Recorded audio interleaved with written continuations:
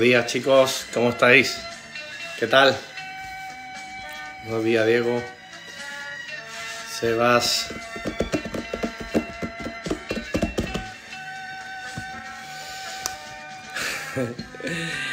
Buenos días María, mira lo que tengo aquí para ti.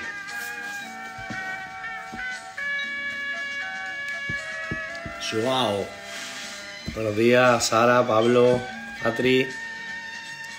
Muy bien la entrevista, ¿eh? La vi anoche muy, muy bien.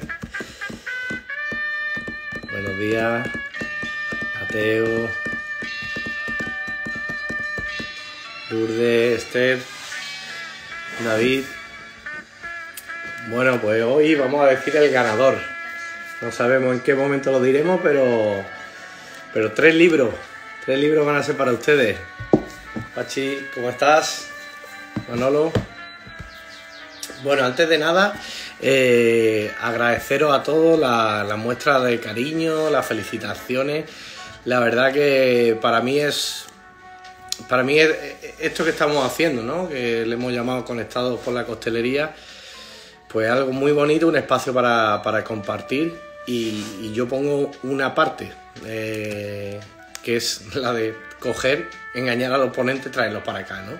Obviamente luego hay un trabajo detrás de intentar canalizar para que la información eh, venga de la mejor manera posible. y luego los ponentes ponen otra y la otra las ponéis vosotros, estando aquí. Que obviamente si en vez de 100, como probablemente tengamos en directo, pues tenemos 3, vamos a seguir haciendo lo mismo porque, porque al final aquí el objetivo no es tener más personas, sino que las personas que, que quieran eh, nutrirse de contenido están aquí, con lo cual, pues, pues nada, genial. Eh, ayer tomé la iniciativa del sorteo de, los libros, luego hablaremos de ello. De hecho, tendremos un invitado especial para, para hablar sobre esto. Y, y, nada, comentaros también que anoche, por ejemplo, pues me fui a servir un ron, un diplomático, obviamente, y a mí se me había olvidado. Y cuando me di cuenta,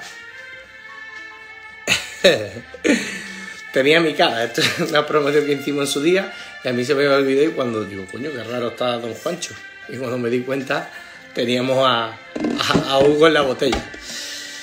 Eh, vamos a comenzar comentando un estudio que hace yo todos los años, que me parece súper interesante, que hablamos sobre la tendencia en costelería en España. No sé si la música está muy alta o está bien.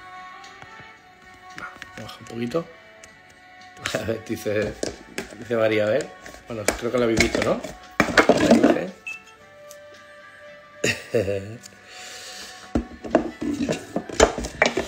Vale. Eh, el estudio habla sobre la costelería en diferentes años. A mí me parece súper interesante porque te habla un poco de, la evolución. Yo hago hace este estudio mediante mensaje a todos los bartenders de, los grupos y demás. También hay que tener en cuenta de que esto principalmente va enfocado a bartender, con lo cual suele ser en coctelería, pero hablo sobre todo de puntos clave o titulares que nos deja este estudio. Muchas veces cuando le decimos a nuestro bartender, oye, te tienes que aprender los clásicos más importantes. Dice, bueno, pero ¿cuántos clásicos? ¿Cuáles son los más importantes? Bueno, pues aquí nos manda una guía de por dónde puede ir el camino. Carlos, llevamos cuatro minutos, tío. Carlos Moreno, ¿qué, qué estado haciendo? vale, eh, bueno, hablamos de número uno, mojito. Obviamente no hay duda. Número dos, el Fashionet, que esto, por ejemplo, pues nos habla de que también el perfil de, del cliente puede ser mucho más amargo o más potente de lo que nosotros nos imaginamos. 4 Negroni, que además habla de, cómo se va instaurando la, la costelería en restaurantes. Eh, número 7 tenemos a, al Pisco Sour, que también pues una de las sorpresas, como eh, también, aparte de que la, la, costelería se va instaurando en restaurantes, como este cóctel prácticamente casi de la nada se ha, se ha colocado ahí. El 8 el Moscow Mule, ahora veremos también la evolución del Moscow. El resto que comentar, bueno, pues el 14 el Sprit, ya no solo como con la marca Aperol, sino como prácticamente se ha convertido como una categoría una familia dentro del cóctel, utilizando diferentes amargos. El 15 el Mai Tai, que también habla de, cómo la coctelería tiki se, va colocando en, nuestro mercado. Número 16 Bramble. Vamos a 2018, la comparativa. Los primeros puestos, bueno, en este caso sube el Negroni, probablemente porque Mar Álvarez va a todos los bares a pedírselo. El cuarto Alfaso en el 3 Piña Colada, prácticamente siguen en la misma línea, Daikiri, sube un poquito el Pisco Sour y el Moscow. Y luego, sin embargo, el número 9 ya tenemos el Sprit de nuevo, ¿vale? Eh, sigue subiendo, sabemos que hay grandes casas que han empujado esto. Y el secreto de, este, de este cóctel para mí es que siendo un cóctel amargo está muy equilibrado y mucho, muy fácil para el público final. Número 12, el Espresso Martini. Entra en el listado y, me parece también muy interesante porque ya habla de un nexo entre el café, la costelería, ya da algo que contar y, también es una muy buena manera o bien de terminar una sobremesa o bien de a este local, una vez que han terminado de cenar, vienen aquí a tomarse algo, tenéis esa opción eh, Caipirinha Gibler, el resto más o menos son los mismos. Y vamos a 2019, obviamente en 2020, como acaba de empezar, no se ha hecho. Número uno, Moscow Mule. Con una gran sorpresa, sabemos que el Moscow Mule va como un tiro, pero por encima de un mojito. Obviamente esto no es una realidad, se vende más mojito en España que, que Mule, pero dentro de la consulta sobre los bartenders, el Moscow Mule está por encima. A mí no deja de sorprenderme porque aunque un cóctel bastante refrescante y, muy bueno, hostia, pues los sabores picantes o que no sean dulces, pues que estén, que estén tan bien o hayan tenido tan buena aceptación en algunas partes de España, no deja de sorprenderme, como en, Andalucía o en Málaga en concreto, donde yo recuerdo que impulsando la marca Kraken eh, empezamos a hacer el Tar Stormy y los distribuidores no tenían refresco de jengibre cómo ha conseguido esta evolución para llegar al cliente final. Para mí lo más complicado es meterse en la mente del consumidor final.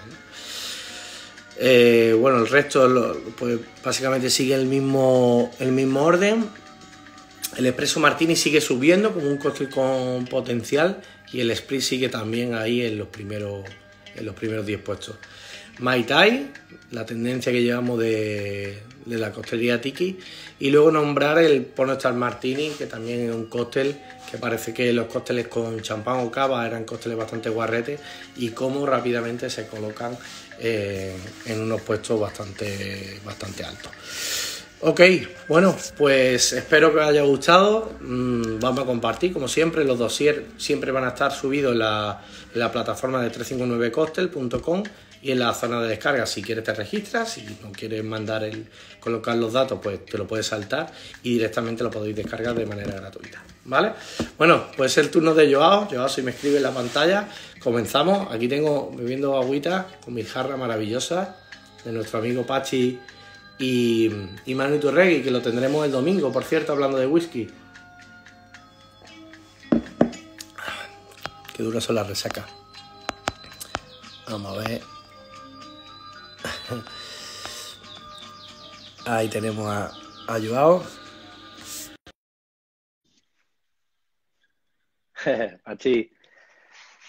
¿cuántas, ¿cuántas tazas salieron de estas? Yo creo que podemos hacer una promoción de, de, jarra. Para el próximo sorteo, una promoción de jarra. Joao, ¿cómo estás? yo voy con la mía. Buenos días. ¿Todo bien? Todo, el mundo te conoce seguramente. Eh, ¿De quién es Joao? Joao pues, es un portugués que se dedicó principalmente a la, a la cocina o viene del mundo de la cocina o empezaste a, a mariconear con el mundo de la cocina. Hace 25 años, sí. Hace 25 años. Bueno, no, y tienes 27 o 28, o sea que ya veo que empezaste en Masterchef Junior. sí.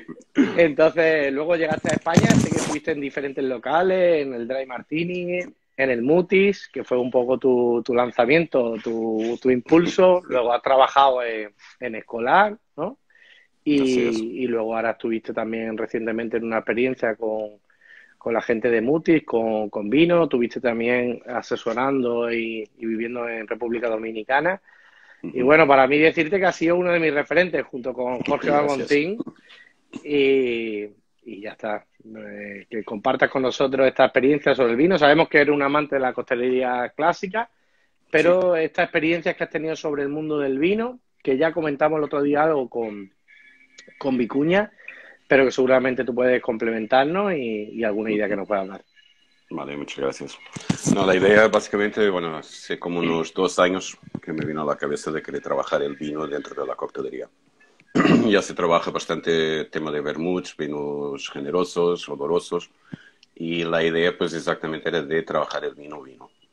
La raíz de esto, pues España es el tercer país creo de mayor productor de vino y hablas con alguien y lo único que podemos hablar de vino es de sangrías, un poco más.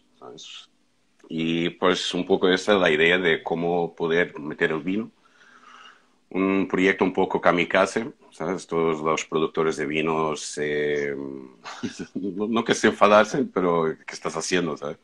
Y la idea pues exactamente eso. Soy, me considero una persona demasiado purista, muy clásica, que le gusta respetar mucho el producto y encontrar esta forma, pues me tardó dos años, es una forma bastante tonta que ya os comentaré, pero nada, conseguí montar, abrimos un bar en septiembre, el Multiclub, y mm, nada, era un bar con la idea de traer el vino a, a la noche. El vino, lamentablemente, que puedes encontrar en la noche en un bar, son vinos bastante nefastos, o sea, el consumo no hay, no hay un interés tan grande por el público y la idea es exactamente de, hostia, ¿por qué no poder tomar una buena copa de vino con una tabla de quesos, unos embutidos o lo que sea a las 2 de la mañana? Y nada, pues ya arrancamos con el Multiclub en septiembre. 80 eh, referencias de, de, vino en la, en la carta. Trabajamos con una maquinita, la Coravant, que, una agujita que pasa por el corcho para poder sacar el vino sin que, sin que entre el aire. Y obviamente pues con una, una manutención, o sea, el vino aguanta mucho más tiempo si no tiene contacto con el aire. Queríamos traer también el concepto de vino a copa, es una tendencia que creo que está creciendo bastante. el cliente cada vez más tiene una curiosidad de probar cuatro o cinco vinos diferentes en vez de comprar una, una botella. Em, acercar pues este viejo y nuevo mundo de los vinos al cliente, pues, enseñar, poderles, contamos con una carta que era un de los 80, pues 25 eran internacionales, desde Australia, Estados Unidos, África del Sur. Y la idea pues exactamente de dar esta oferta al cliente para poderlo disfrutar. ¿vale? Eh, conté pues con dos personas bastante importantes para que me ayudaron, que fue Unai, Mata y Esteban que los dos me iban acompañando. O sea, usted buscó un vino con unos matices de café, con unos matices de frutas del bosque. Usted, yo tienes que probar este. Y poco a poco pues fuimos desarrollando una carta de coctelería que me, me llamó bastante la atención. Em, queríamos romper un poco el tabú del vino solo sirve para la comida. O sea, lamentablemente, como, comentaba antes, el vino está muy asociado a la gastronomía y por qué no por la noche pues poder tomar una copa de vino o incluso hacer un cóctel con base, con base de vino. Hay una colaboración con las bodegas, una vez que les enseñabas el producto, cómo se lo mezclaba y o pero esto sabe a vino. claro, esa es la, esa es la idea, ¿no? Ese es el objetivo. y poco a poco pues fuimos ganando un poco la, la confianza de, la, de las bodegas para poder llegar a esto, ¿sabes? Trabajamos también con vinos de proximidad, o sea, de poder asomar también esta idea del kilómetro cero, la sostenibilidad y todo. Y la verdad que la, el resultado, la respuesta del, del, cliente fue bastante positiva. A mí me sorprendió bastante. Tenía bastante deseo de se va a encajar, no va a encajar, mm, cómo va a reaccionar la gente y la verdad que salió bastante bien. Hicimos una carta pequeñita, bueno, pequeña, 25 cócteles, uh, todos uh, separados por categorías, o sea, si querías un cóctel con vino tinto, un cóctel con vino rosado, un cóctel con vino blanco, y, mm, y, incluso también con burbujas, obviamente. La burbuja creo que ya estaba, como tú ahora acabas de mencionar, el Pornstar Martini, creo que ya está inserido dentro de la, del mundo de la coctelería, pero la idea era de encontrar, pues, otras maneras y otro, otro tipo de coctelería, ¿sabes? basando un poco también en el spritz y en el concepto del pornstar pues conseguimos sacar cócteles bastante, bastante divertidos, ¿sabes? Um, nada, pasamos a lo siguiente, ¿vale? El, uh, como os comentaba, el cóctel, el menú de la coctelería, uh, empezamos con una trilogía de daiquiris. Esto fue una, fue una historia bastante curiosa, hicimos un tasting de, de, la, de la coctelería. Um, mi jefe Kim estaba bastante curioso de ver, pero a ver, lo que me vas a sacar de aquí. Y nada, bien carta ya, o sea, ya tenía pensado un daiquiri con, con vino rosado. Si probamos, quedaron todos bastante sorprendidos, está buenísimo. Vamos a probar con vino blanco. Nada, hemos hecho unas pruebas con vino blanco, también encajó. Fuimos a buscar un vino también con un poco de barrica para buscar exactamente esta personalidad del vino que se, realmente se puede identificar. Y ya después del vino tinto, pues nos vinimos arriba. Um, somos, bueno, el Multiclub es una embajada Krug, ¿no? que trabaja con Moet Hennessy, que tienen en su portafolio el, uh, el Numantia. ¿Vale? Entonces, pues, hacer un ¿Cómo, cóctel... ¿cómo, cómo, se, cómo se, se, comporta a nivel organoléctico el vino dentro de un cóctel, incluso en la, en la boca? Mm, esto fue el primer desafío hace dos años que, que tuve. ¿sabes? Lamentablemente, el vino es un líquido bastante delicado.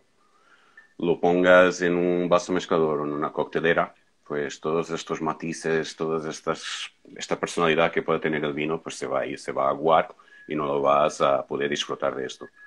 Um, nada, pues llegué a la conclusión que mezclando el vino al final, ya sin hielo, sin nada, o sea, tú agitas o remueves el cóctel, lo pones en una coctelera, le añades el vino, lo remueves. Nosotros descansábamos para darle un poco de show al, al cliente, o sea, no, mm. no, quería tanto un colacao, pero o sea, de darle también un poco de espectáculo al cliente que está delante viendo cómo elaboras el cóctel. Vale, y, una pregunta. Nada, así llegamos así. Una pregunta que me dice María, eh, ¿añadir ron también o solo...? Sí, entiendo que sí. Sí, sí, sí, sí, no. La idea es partes de una base de un daiquiri, ron, lima y azúcar, lo agitas, lo colas y después le añades el vino y nada, y escanciar para jugar un poco y, y servir a la copa. Vale. Entonces, eh, se aprecia muy bien en esa foto, eso fue un evento no, que bueno, hicimos. Hay un tío muy guapo tapándola. No, coño, soy yo. Bueno, Um, igual lo, lo, van a tener en la presentación, se ve un poco Sí, en, en esto el fue, un, esto fue un evento bastante, bueno, un desafío también bastante grande. Quisimos hacer una inauguración, ¿vale? Y Kim me pidió 2.000 daiquiris de cada, o sea, 6.000 Tampoco. daiquiris. Tampoco es tanto, ¿no? Eh, sí, bueno, una, una logística bastante complicada. Tuve que pedir congeladores a nuestro proveedor de hielo para poder guardar, pues era imposible servir 6.000 daiquiris en un, o sea, aparte que todos de golpe.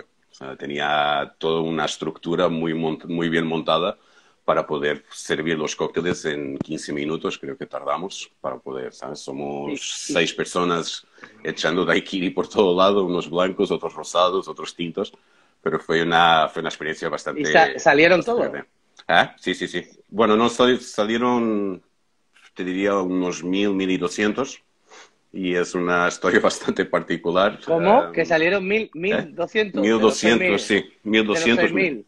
Sí, ¿Y qué hiciste con el otro? ¿O lo Eh? Pues no, lo distribuimos por Barcelona. Ah, vale, bastante vale. curioso y yo entré, me acuerdo de entrar un día en el, en el Stravinsky y, y Antonio saca una botella de daiquiri y dices, wow, esto es tuyo, ¿no? ¿Qué coño es esto aquí? Dices, no sé, bueno, me han traído.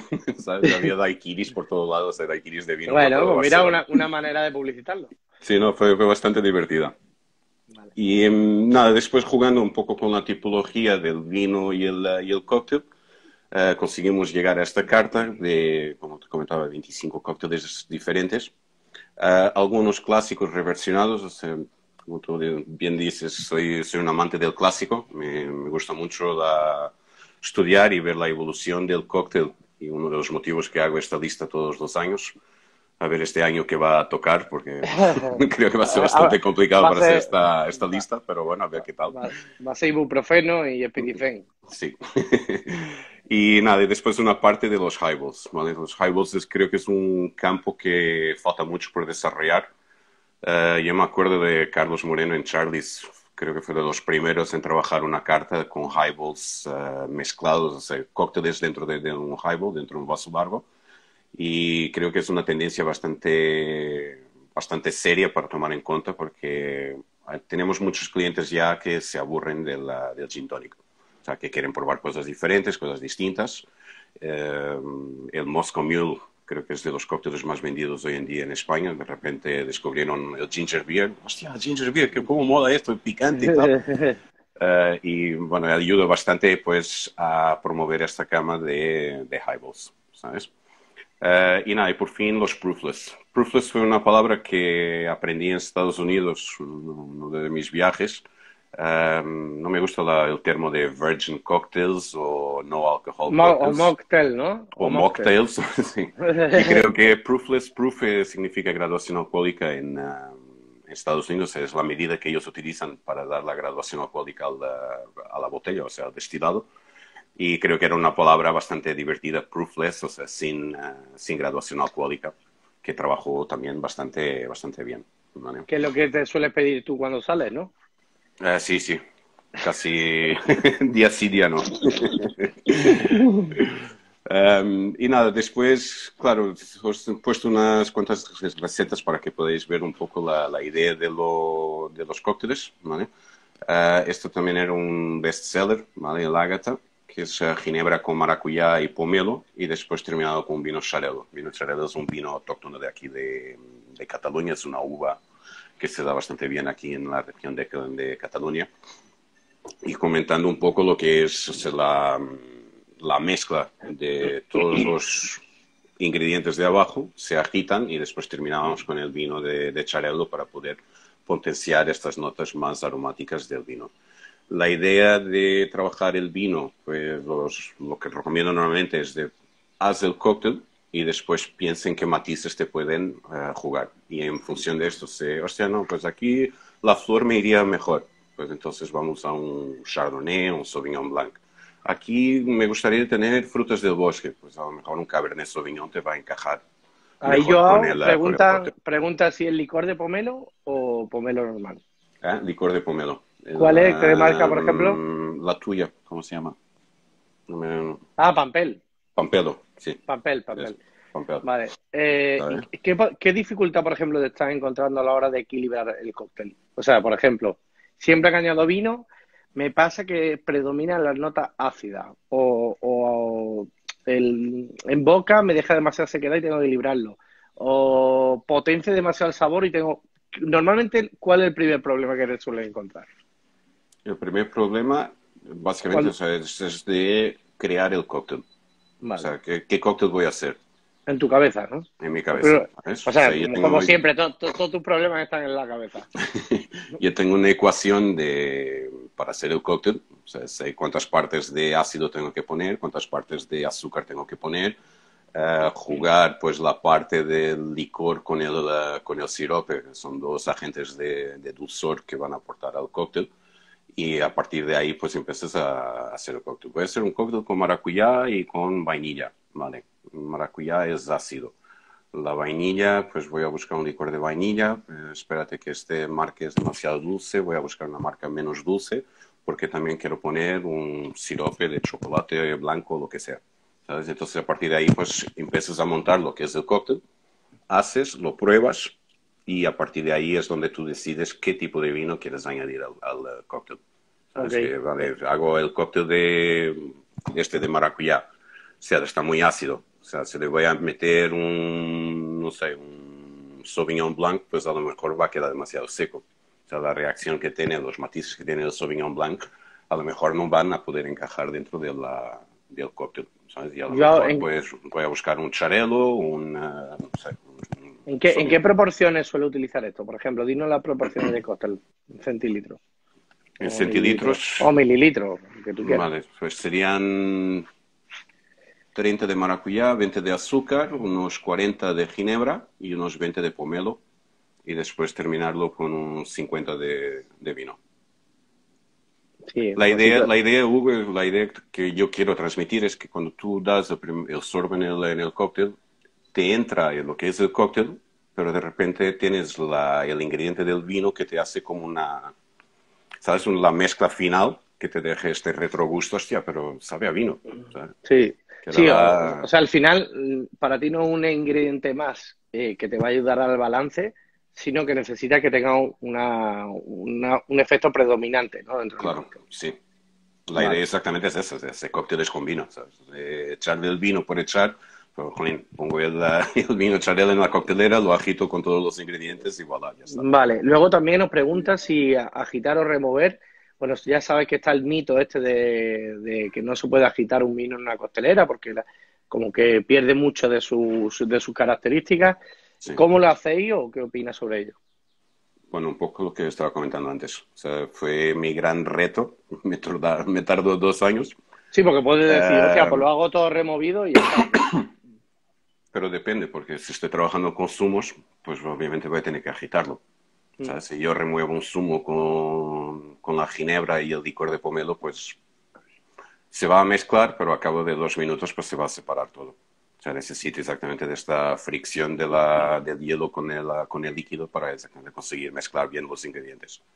Y después lo que comentaba antes, o sea, añades el vino al final de todo, o sea, sacas el hielo, colas para otra coctelera o lo que, lo que tú quieras, y le añades el vino. Y bueno, si quieres, estás en casa y no, no quieres hacer tanto show, te da un poco de vergüenza, pues echarle el vino y con una cuchara lo, lo mezclas o si quieres haces un escanciado del cóctel y, y voilà. Vale, muy claro. Mm. Mexican Gillet. Esto fue una receta que me gustó bastante. Descubrí, yo estuve, bueno, trabajé con Martins. Martins llevaba um, Ferdinand's y es una, historia bastante curiosa. De repente me encuentro como unas 50 botellas de mm, cordial de Riesling. Ferdinand's es una ginebra que se hace con base de Riesling y ellos habían pues desarrollado un cordial que me llamó bastante la atención. Claro, estas 50 botellas volaron en cero coma. Y nada, cuando llegué al multiclub pues quería hacer este, este cóctel y pues nada, trabajando con su pasado y con, y con un vino de Riesling, pues hacíamos un cordial y aplicábamos en un gimlet, ¿vale? Y íbamos a buscar exactamente esta, estas notas del bitter de apio con un tequila blanco y conseguimos hacer pues una versión de un gimlet distinta. De ahí vienen estos clásicos reversionados para poder ofrecer al cliente una, un cóctel distinto, ¿sabes? Lo pregunta Joao y además me parece muy interesante que lo explique, ¿qué es Super Sour? Porque es un producto único. Sí, Super Sour fue un producto que se incorporó también en Martin Brands el año pasado es una mezcla de cinco ácidos distintos. O sea, mucha gente normalmente trabaja con el ácido cítrico, el ácido tartárico para poder hacer cordiales. Y la um, Sour pues, fue un proyecto desarrollado en Bélgica, aunque el nombre parece, parece chino. nada, son es ácido cítrico, tartárico, málico, sucínico, málico, tartárico, cítrico cínico y me falta uno que no me acuerdo ahora. Lo tiene apuntado en el techo, ¿no? ¿Eh? sí, no, estoy mirando aquí al aire. Eh, nada, es una agua destilada al cual se añaden en la proporción estos cinco tipos de ácidos y se creó este producto más para trabajar lo que es la coctelería clarificada. Normalmente trabajamos con productos lácteos para poder clarificar un cóctel o un destilado y mm, el gran, la gran desventaja que tenemos es que siempre se queda con un punto lácteo dentro de, la, de lo que es el cóctel. Trabajando con Super Sour, pues elimino estas notas lácteas y puedo, puedo añadir pues um, más cítrico a, lo que es el cóctel. Ascórbico, dicen por ahí, sí. Ascórbico puede ser. sí. Ok, eh, y como por ejemplo aquí eh, notábamos que estuviera presente el vino en este cóctel. Aquí más en la parte del Riesling sí, sí, o sea, la, parte, la parte de lo que es el cordial. sí, pero, viendo, pero viendo un poco los ingredientes y que el tequila, pues sabemos que también tiene unas características ahí, es un, buen, un buen púgil, ¿cómo conseguimos ahí que el, que el vino tuviera fuerza? Dentro del Riesling, o sea, dentro del cordial me refiero. Sí, o sea, haces un cordial bastante potente con, la, con el Riesling. Vale, sí que las proporciones igual no son las de un Gillet de un 6-1 o así, ¿no? O 6-2, que, hablamos de una proporción más grande del cordial, ¿no? Obvio. Y nada, después tienes este que me gustó bastante. Esto está inspirado en un brandy crusta. ¿vale? Le ponemos el nombre de Jumilla Crusta simplemente por añadir el vino de Jumilla. Trabajamos con Juan Gil 12, 12 meses, que le daba también unas notas bastante divertidas. Se prepara lo que es el brandy crusta, se sirve en la, en la copa, como podéis ver, y después se aplica la técnica, bueno, que es bastante utilizada con el New York Sour, que haces un float de, la, de lo que es el vino. La idea es que tú cuando empieces a beber, pues tu labio superior va a tocar lo que es el vino y tu labio inferior coge el cóctel y es en la boca que se mezcla. ¿sabes? Fue un cóctel que a mí me, me, llamó bastante la atención, me gustó muchísimo. El Brandy Cruster para mí es un, es un cóctel súper interesante con mucha, con mucha historia. Lo que, vemos lo que vemos arriba, Joao, ¿esas notas blancas de la crusta o...? Eso es la espuma de la, la espuma. Mm, sí. Muy bien. O sea, del, agitado, pues te crea esta espuma.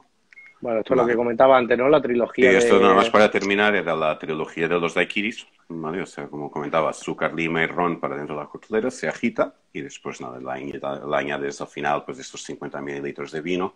Ahí lo único es de comentar que o vinos con personalidad, o sea, vinos con carácter. Mm, si vamos a buscar un vino ligero, pues va a ser complicado de encontrar estas notas de vínicas dentro, dentro del cóctel. Mm. Tenemos una última diapositiva. Bueno, esta es del local. La foto del bar. Vale. Me gustaría hacerte varias preguntitas. Yo aprovechamos los cuatro o cinco minutitos. La primera es, eh, bueno, esto nació como una especie de taberna. Si es verdad que el que tú estuvieras detrás de la barra, pues ya orientaba de que iba a ir a, a beber cóctel. Pero ¿cómo consigue que el cliente final en un sitio de vino, o particularmente que, que tenga unas características, que teníais algo de, teníais un era un restaurante, ¿no? Básicamente, restaurante con la parte de vino, ¿cómo consigue el cliente final se le meta esto de voy a pedir un cóctel con vino que no sea un tinto de verano o una sangría? O sea, y con esa facilidad, ¿no? ¿Cómo había hecho este trabajo?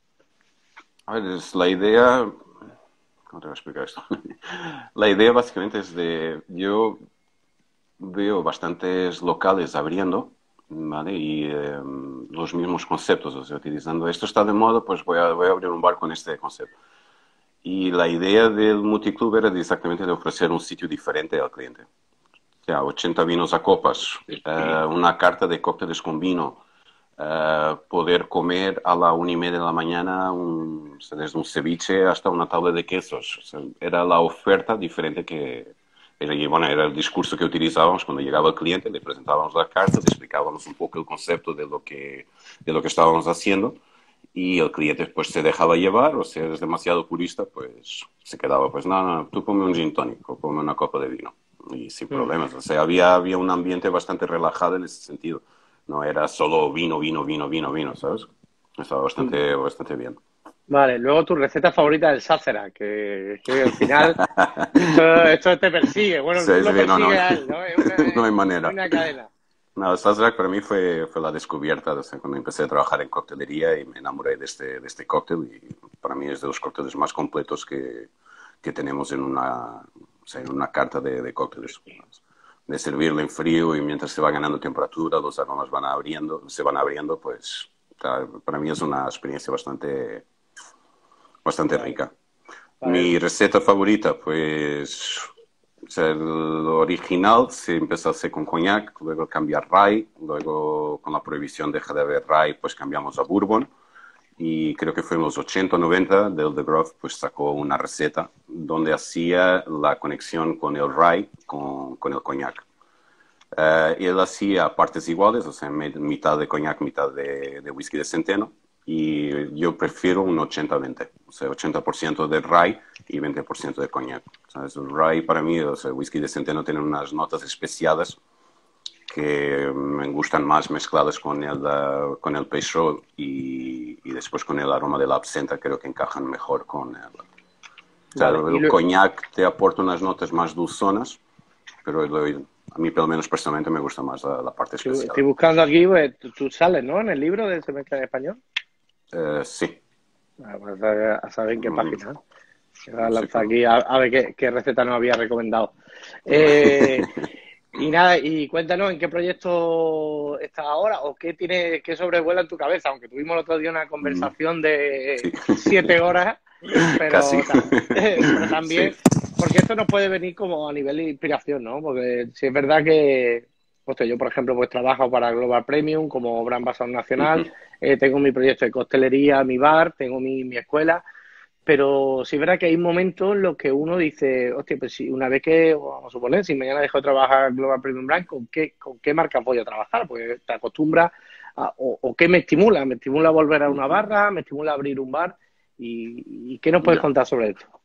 A ver, yo no sé si, bueno, me atrevo a decir, yo creo que soy de los pocos que me alegro que esto haya pasado. Siento mucho por todos mis colegas y mis compañeros que tienen locales y que se están pasando mal, pero creo que la humanidad necesitaba de un, frenazo de, mano, ¿sabes? Y creo que el coronavirus pues vino a ayudar exactamente a esto, o sea, tengo que estar sentado, tengo que estar parado, es el momento de realmente aprovechar y pensar qué quiero hacer con mi vida, qué quiero, qué quiero desarrollar Uh, y creo que es el momento idóneo para, para, poder prepararnos y vernos. Yo creo que esto no va a ser igual. O sea, no, la vida necesitaba exactamente de este parar. Y sé de personas que andaban por tres ciudades en el mismo día. O sea, salían de Barcelona a las seis de la mañana y volvían a las nueve de la noche y habían estado en Londres, en Berlín y en París. O sea, calma, es muy rápido. ¿sabes? La velocidad con que vivimos y a partir de ahora creo que vamos a tener pues más tranquilidad, o sea, más una vida más pausada, el estrés espero que, que, pueda bajar y es el momento exactamente de pensar en áreas que puedan complementar. O sea, ese fue Jorge el otro día que estaba comentando. Em, creo que ya, o sea, no es suficiente ser bartender. Ya. Vale, muy bien, eres bartender, pero ¿y qué más? O sea, ¿y qué has hecho, qué has hecho durante este mes y medio que estuviste confinada en casa? ¿Has estudiado? ¿Has hecho algún curso? Y creo que es el momento para que no, todos nosotros podamos pensar en... Hay en campos para, para poder estudiar. ¿Y el tuyo? ¿Y el tuyo? ¿Mm? El, el, mío estamos en ello, estoy, dando vueltas a la cabeza. Parece un futbolista en una rueda de prensa, macho. ¿no? Dice muchas cosas y nada. Bueno, hemos encontrado aquí la página de, de Joao, además muy peladito, muy guapito. Y luego tenemos cóctel. Where is my Sazera? Eh, habla del Sazera, Takesan, que es un cóctel con mezcal, licor japonés. Un meso. Sí, luego tenemos Clipper Ship y un Pink Mexican Mojito, tío. Aquí tenemos.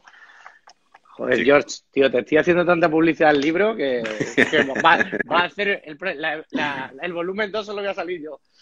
Bueno, Joao, ha sido un auténtico placer. Yo creo que además de todo lo que nos ha instruido, nos, hemos divertido, hemos aprendido de tu filosofía y seguramente te espero, espero que esto dure poco, pero me gustaría algún día retomar sobre, sobre clásicos que a lo mejor no son tan conocidos y, cuál es la evolución natural de, esto, que hablemos sobre esto también. Gracias, amigo. Te mando, una, un abrazo. Mando un abrazo grande para todos y gracias por escuchar. Chao, ratita. Y nada, stay safe. un abrazo. Un abrazo. Chao. Bueno, yo creo que ha sido genial.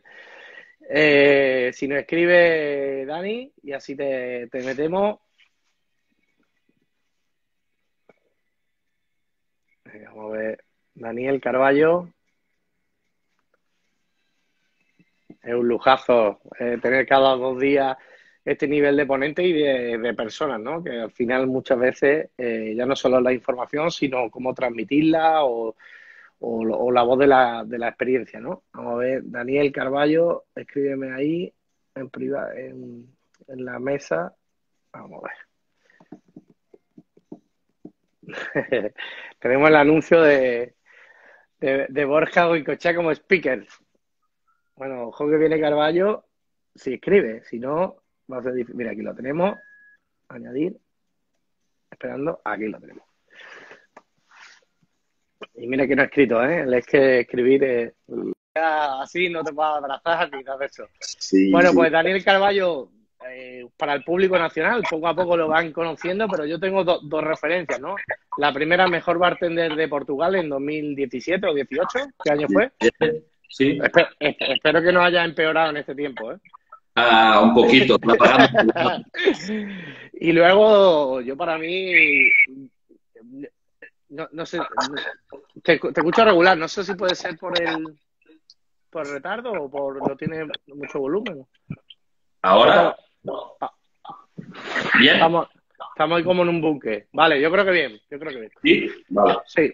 Eh, y luego para mí, Vicuña. O sea, si- Vicuña me dice, no va a probar nunca eh, un cóctel que esté malo de Dani Carballo y de Sergio, el de Niebla. Entonces, entonces bueno, ya, tengo dos referencias, así que todo tuyo, nos va a hablar del clarificado y, y, y para adelante. Dale ahí fuerte. Bueno, ah, antes de más, ah, gracias Hugo y a 359 por la invitación y espero que, que todos eh, estén bien. Y entonces, ¿quieres mostrar la, la Sí. que ha enviado? Sí, Creo que es mejor, ¿no? sí. Vamos proyectando. Para por- La gente le, va- le valga como guía.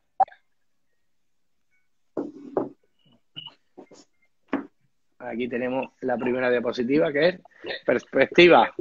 Sí, perspectiva. Ah, entonces, lo que es Milk Punch. Ah, Milk Punch, hablando un poquito de la historia de Milk Punch, ha empezado por una, una chica que es Afa Ben en finales de 1600.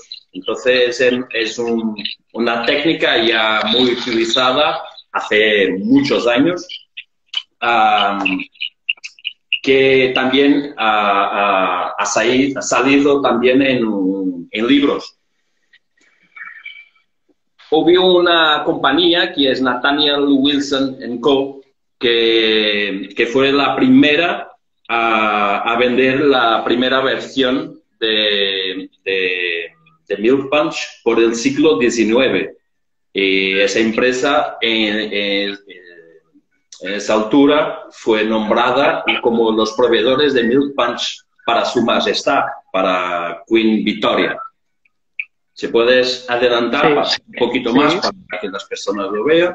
Aquí, tenemos una fotito, un clarificado. Sí. ¿Paramos Entonces, aquí o paramos aquí, no? Sí, sí. Ahora, para que tenga, eh, que la gente le, le tenga una idea de, de la importancia de, de esta técnica ya utilizada hace 300, 300 años o, o más, eh, 200 y, y pico, a Benjamin Franklin, que fue el super tío inteligente de la historia, ah, ya tenía un- un- una receta de, de Milk Punch para, para enviarles también a sus amigos y, y en esa receta lo puedes encontrar también en una edición del libro de Jerry Thomas. Sí, Eh, a mí lo, lo- lo comentamos en una de las ediciones. Sí. cómo, cómo estaba en una, en una de las recetas. Tío, Sí. coño, ya hablaba Jerry Thomas del Bill Punch. Sí, sí, sí, sí, sí. Es muy antiguo, una, tec- una técnica muy utilizada ah, hace muchos años. Vale. Si tuviera que describir, eh, Dani, aunque luego seguramente vamos a explicar los procesos, ¿qué es el. Bill Punch? y es el Milk Punch. Más adelante te voy a decir uh, cómo, cómo, cómo es el Milk Punch, cómo, cómo lo podemos hacer. Tener- tenéis varios, varios slides para, para, para mirarlo. Te voy a decir ahora, si lo pasas lo- los próximos slides, lo clarif- eh, eh, Clarified Milk Punch. Y es una receta dirigida a la esterilidad de, de la, de la bebida donde se cuaja la leche. Esto es lo milk punch. Esto se hace, se hace con, leche, um, con leche y es un poquito más exuberante, ¿no? Y luego tenemos, porque hay dos variaciones, de, tenemos el, el egg milk punch o eggnog, que es también un- una bebida de, de Irlanda, pero con leche caliente, que es partes iguales de, de whisky y leche caliente, ¿vale? y lo puedes agregar varias cosas, como mantequilla, ah, como azúcar, miel, ah, canela, nuez moscada. Ahí, ahí es importante la grasa, ¿no? Sí, sí, aquí lo importante es la... proteína. Sí, sí. Ahora, ¿cómo se hace Clarified Milk Punch? ¿ok? Lo, te puedo mostrar aquí uno que ha hecho, que ha hecho estos días. Es una botellita Hoy de... va el día de diplomático, ¿eh? por lo que veo. Sí. Pero a ver la cara, esa no, esa no tiene mi cara, ¿no? Esta no. Esa, Este esa es falsa. Rich, parece falso. No, tú eres único. Esto es... Entonces, uh, si lo podéis mirar, esto es un Clarified Milk Punch que ha hecho estos días con, con tequila curado espadín, con vino de Oporto, un plátano caramelizado, con agua de coco, su pasagua y um, jengibre de, de Rial y con leche entera. Y esto lo hace, lo hice en un día y medio y ya está. ¿Okay? Súper bueno. ¿Cuál, cuál, era, ¿Cuál, era, su color, Dani, antes de, antes de hacerlo? Eh, mucho más oscuro, ¿no? Eh, es un, tenía un color casi, casi como, como esto. ¿okay? Vale. Esto. Y ahora, esto. Vale. Ahí te, te, eh, la presentación tienes varios vídeos que lo puedes mostrar para... Nos pregunta Esther sobre el tipo de filtrado, me imagino que será un filtro de papel, ¿no? Sí, es un filtro de, de pano. Uh, sí, es un filtro de pano, de, ¿Pano de, de, trapo. Ah, de trapo. Ok. Ok, Clarified Milk Punch. Uh, para hacer clarifi un Clarified Milk Punch no es necesario herramientas muy personalizadas y no es un sistema muy, muy, muy caro de hacerlo, ¿no? Uh, esto lo podemos hacer eh, mucho rápido y con mucho poca cosa, ¿vale? Entonces, lo que es uh, clarificado, se puede, uh, milk punch se puede hacer de, de varios destilados, de cualquier destilado, que lo puede hacer el combinado de, con, con jugos de, de, zumos, con purés de fruta, con, con tés, con especias, con, y luego con acidez, tiene que tener acidez y azúcar, ¿vale? Al agregar el leche, en el final, yo hago el leche en la final, uh, cuanto más rico en grasa, mejor, ¿vale?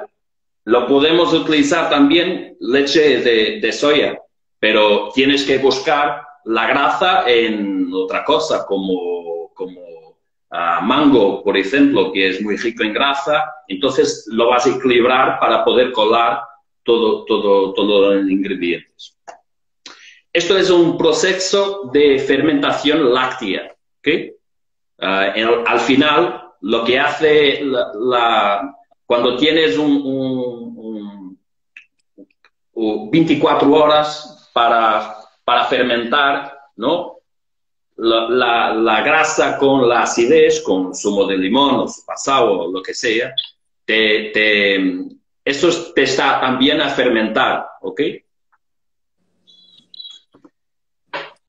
Entonces, vantajes. Lo puedes coger lo otro slide. Sí, es donde está, donde está mi perro, ¿no? Sí, ahora es tú, ¿no? De aquí. Emilio. mira. Entonces, las vantajes uh, que tenemos, uh, velocidad de servicio, porque no necesitas de, de, de, de hacerlo cóctel, lo cóctel ya está hecho, ¿no? Esto es un avantaje para, para um, bares de, volumen, es una ventaja muy grande. Uh, los cócteles son más aterciopelados. Um, en la boca trabaja de una manera muy diferente. ¿no? Sí, mucha consistencia. Uh, son cócteles de bajo costo, ¿vale? Porque luego, y son cócteles con bajo teoría en alcohol, uh, que tiene 6, 7 de ABV. Entonces son cócteles de low alcohol. Lo puede hacer más, sí, pero lo puede hacer, uh, por ejemplo, esto que está aquí tiene 500 mililitros, 50 centilitros y solo ha utilizado 100 de, tequila curado, ¿no? Entonces, ahí lo puedes jugar también con bajo coste. Y la durabilidad, porque tiene un, cerca de un seis meses para, si lo quedas en la nevera, tienes un seis meses para, para, para tener. De vantajes, la preparación previa, claro, toda la gente, uh, un bartender tiene que se quedar en los back office haciendo, haciendo sus cositas temprano, ¿no? uh, lo gusto del cliente, que le gusta la, la, la grasa, ¿no? Uh, no es mucho, pero sientes un poquito. Y las personas que tienen intolerancia a lactosa. Pero esto también se puede cambiar con el leche de, de soya, por ejemplo, ¿no? Lo Mm. podemos, lo podemos trabajar de otra forma. Ahora tienes ahí en los próximos ah, dispositivos, tienes ahí un cóctel de, de más, ah, por ejemplo, que es de Nico de Soto, que tiene más y Danico. Más es de New York, Danico de París, que estuve también en los 50s Best Bars y trabaja un montón de, de, de milk punch. Para las personas que quieran más información y maneras de, de, de, de trabajar, lo pueden seguirlo también, Nico de Soto, porque hace mucha promoción a los. Nos pregunta aquí, perdona Dani, antes de seguir, eh, Sí. para no liarlo. Bueno, la primera dice, ¿qué media de bajo costo hablamos? 0,80 un euro por escandallo de precio. Bueno, pues yo creo que esto te lo puedo responder yo, Luis. eh, también depende mucho de la base alcohólica. En torno, yo creo que entre unos a 1,20, 1,50 podemos llegar, Dani, con un alcohol bueno. Sí, sí, sí, yo creo que, yo creo que menos. Menos. Menos utilizando ah, bebidas premium como Jimare o, o Sí. Corado. Después nos hablan también, al tener bajo alcohol y clarificar, podemos, podemos, podríamos congelar al vacío para mantenerlo más tiempo. Sí, lo podéis congelar al vacío también, claro. Claro que sí, claro que sí, por supuesto. Genial. Entonces, a lo próximo slide lo puedes mostrar también, que es un cóctel de Red Frog, que eh, es otro de los bares aquí en Portugal, que lo trabaja mucho también el Milk Punch, un poquito de manera, algunos de manera difer- diferente, porque hay personas que trabajan con leche caliente, otros, ah, otras personas trabajan con leche fría y otra al ambiente. Yo trabajo ah, con leche al ambiente pero necesita un poquito más de tiempo para fermentar, ¿vale?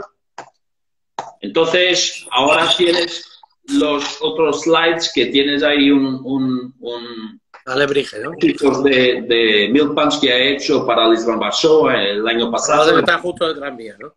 Sí, sí. El tío de...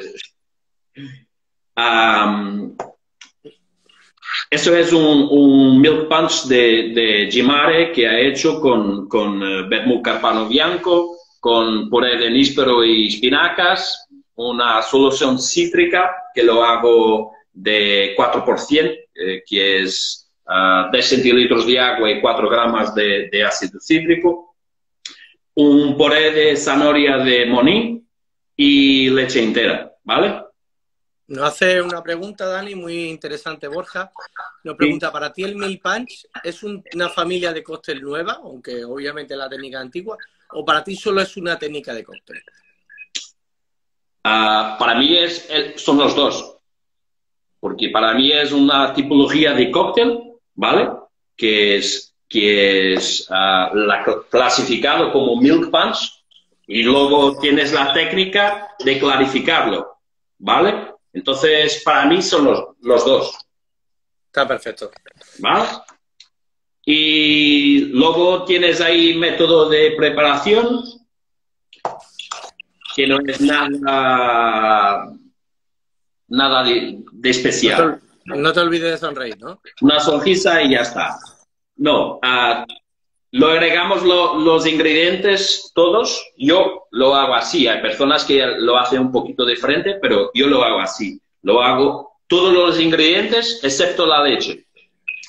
Y luego lo, lo- me quedo con la leche muy ah, poquito, ah, despacito, para la leche se incorporar desde abajo para arriba. Luego tener ahí lo próximo slide un vídeo Sí, que aquí, bueno, no os preocupéis porque yo lo tape, también se ve pequeño y es difícil de anotarlo, porque como dije antes, eh, a partir de esta tarde estará subido en la, en la web de 359 Cocktail. Sí, sí. Luego lo dejamos fer- eh, fermentar durante 24 horas. Lo filtro una vez con, con el trapo y la segunda vez con lo mismo trapo, sin, sin lavar. Y luego lo embotello y ya está en la nevera. Ahora, si puedes hacer, no lo, no lo miras, los Ay, no se, va, no se va a ver bien. Ok. Bueno, te voy a pasar si quieres a esta. Sí, sí. Si puedes pasar a eso, lo primero vídeo se, se lo puedes poner, ¿no? ¿El vídeo? Sí. No, vídeo no hay. Hay Ah, pues imagen, PDF, no. imagen. Ah, vale, esto tiene imágenes. Pues bueno, la primera es ah, la, la manera de, de- de- de filtrar. La segunda, lo- como lo puedes mirar, ah, ya está saliendo un poquito más, más ah, filtrado, pero luego tengo la, la, segunda, la segunda filtración para, para hacer.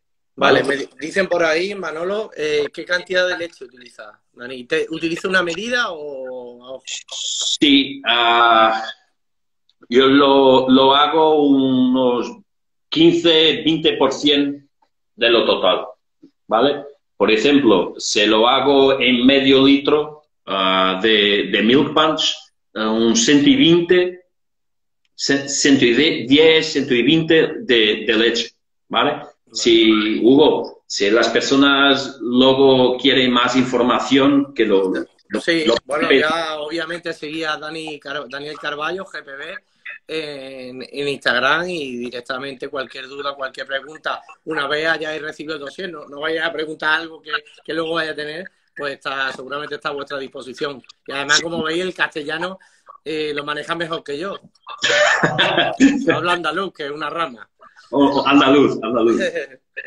Pues bueno, eh, ahí tiene, tienes otra, otra, otra, otro milk punch de tequila curado, que es una especie de, de, de- de una paloma, pero de mango. Ah, um, y en lo próximo slide tienes un, un- un otro de que es como un, un- Este está buenísimo. Lo, lo tuyo está, está muy bueno. ¿Ok? Que ha utilizado leche de coco en lugar de, de, de- de leche entera o de, leche de soya.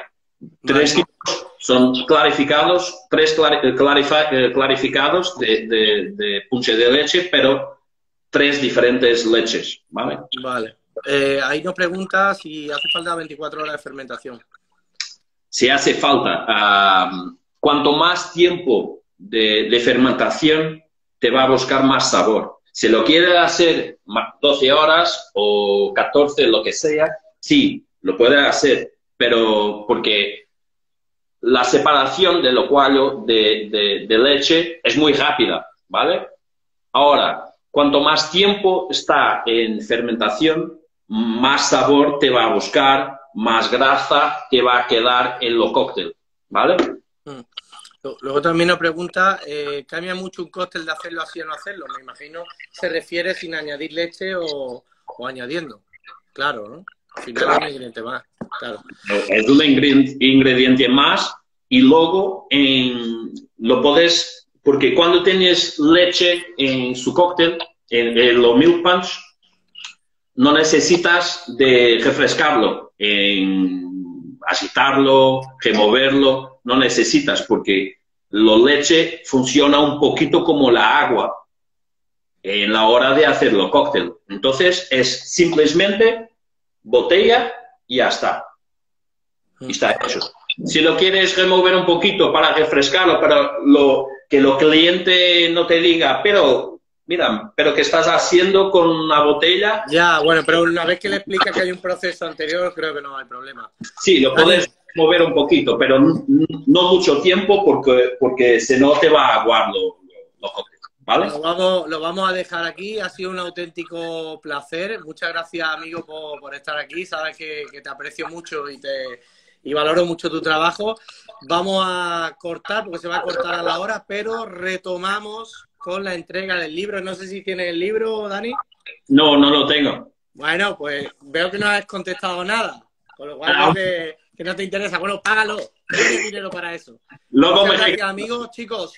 Un Cortamos, podéis salir a Dani Carballo también en las redes y continuamos con los ganadores del libro de George Restrepo. Gracias abrazo. y un abrazo. Gracias, Hugo.